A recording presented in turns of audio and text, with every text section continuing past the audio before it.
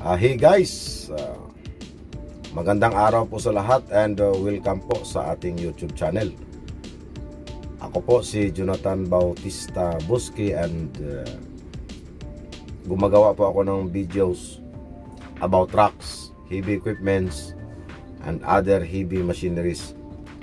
So sa video po na ito, pag-uusapan po natin yung tatlong button na makikita natin sa ating mga dashboards and uh, ipapaliwanag natin isa-isa kung ano po yung mga function nila so kung interesado po kayong manood sa aking videos please try to consider subscribing to my channel and uh, pakihit na rin po ng notification bell para po kayo ay updated sa ating mga incoming na uploads.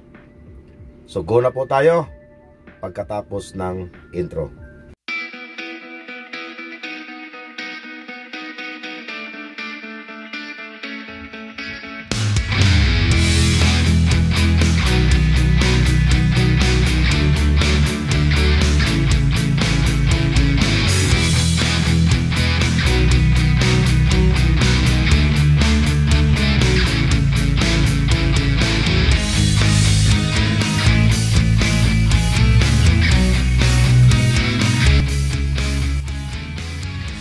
Ayan guys, uh, umpisahan na po natin.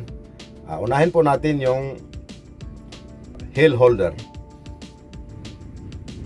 Ang hill holder po ay kilala rin sa tawag sa ibang brand. Hill Start Assist at saka Hill Hold Assist.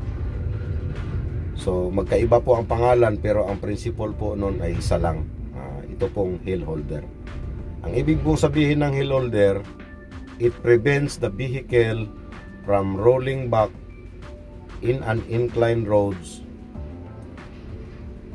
for 3 seconds.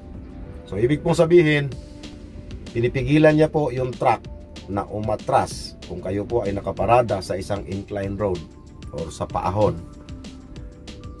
Bago po kayo umabante ay pipigilan po niya yung vehicle for 3 seconds pagkabitaw nyo po ng uh, inyong mga preno mag-hold pa yung brake ng 3 seconds. So enough time po para mag-shift yung paa mo from brake pedal to accelerator. So yun po ang purpose ng ano. So hindi na po natin kailangan yung mga tire chock at uh, yung mga pangkalang or yung mga tinatawag nating pangkalso sa likod. Kasi po uh, automatic na po siya. So guys dito naman po sa ESR or uh, anti-slip uh, regulation. So ang tawag ng sa ibang mga brand ng vehicles ang tawag nila dito is uh, trans traction control system. So ang purpose po nito is uh, para maproteksyonan yung vehicle uh, doon sa mga slippery or mga madudulas na kalsada. So, yung mga wheels po ng ating vehicles ay may mga speed sensor. So, pag uh, na-detect ng sensor na yung isang gulong is uh, spinning faster than the other, so mag-activate na po yon mag-alarm na po dito sa ating dashboard na naka-experience na ng uh, dulas yung ating sasakyan. So, ang gagawin po nung ESR dyan is mag apply siya ng brake doon sa spinning wheel. So, para yung isang wheel na stationary ay makakasabay. So, yun po yung ano kaya makikita nyo minsan yung mga sasakyan na tumatakbo sa madulas eh minsan left and right nagpapalitan ng spin. Kasi dala po yon ng ano ng anti-slip regulation. Pero yung control po ay hindi na lahat sa driver. Kasama na rin po yung system kasi hindi na pwedeng uh, didiinan ng driver yung accelerator kasi minsan kina-cut off niya automatically minsan nire-reduce niya or minsan totally wala talagang accelerator.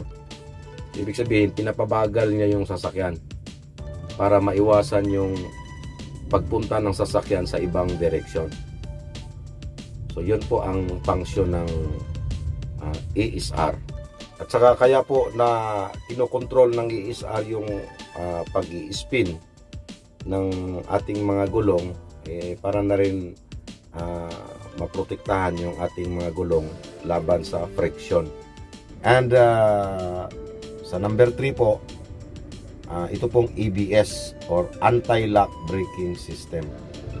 So, ito pong ABS, yung gulong po natin ay hindi na po naglalak during hard brake. Kaya nga siya anti-lock. So, kumakapit siya pero nagtuturn pa yung gulong or yung wheel. Uh, ginagawa po yan para uh, ma-steer pa natin yung ating manabela pakaliwa or pakanan para makaiwas tayo sa aksidente. Kasi po, pag yung lahat ng gulong ay hindi na umiikot, hindi na po, wala na pong control dito sa manabela. Kasi po, gagano na lang yung ano. Pero pag umiikot pa po yung gulong, So, pwede pa po siyang maiwas sa kaliwa or sa kanan. And uh, isa po sa mga karakteristik na mapapansin nyo sa isang vehicle na equipped ng EBS is pag nag hard brake po siya makakita po kayo ng bakas ng gulong sa kalsada putol-putol po yon yung bakas ng gulong Sinasabi nga nung iba, uh, hindi daw maganda yung preno kasi putol-putol. Pero yun po yung karakteristik ng ABS. Kasi po yung gulong umiikot. And then pangalawa, uh, pag nag-hard brake po tayo, makakaramdam po tayo ng vibration sa harapang bahagi ng ating sasakyan. So parang may nagba-vibrate. So yun po yung mechanism ng ABS. Normal po yon. And uh, pangatlo, um, pag nag-hard brake po tayo, minsan mararamdaman natin yung paa natin parang tinutulak ng pedal pabalik. So, normal din po yon Characteristic po ng ABS yon And last, uh, sabi nga nila, pag ang sasakyan natin ay uh, equipped ng ABS, uh, magbigay po tayo ng tamang braking distance or yung tinatawag na stopping distance. So kung sumusunod tayo, may sinusundan tayong sasakyan, so kailangan magbigay tayo ng tamang space para sa braking distance. Kasi sabi nga nila, mas mahaba daw yung stopping distance ng sasakyan na may ABS. Di katulad ng mga traditional na mga sasakyan nung araw na walang ABS. Pag nag-hard brake tayo, pwede nating ipako. Yung ABS po, gumaganon pa yon. Hindi po siya nagpapako kaagad. So, yun lamang po at uh, sana may natutunan tayong kaunting aral sa ating araw-araw na pagmamaneho. At uh, Maraming salamat po sa panonood. So, pakishare na lang din po ito sa mga kasamahan nating driver na hindi pa alam yung mga ganitong functions.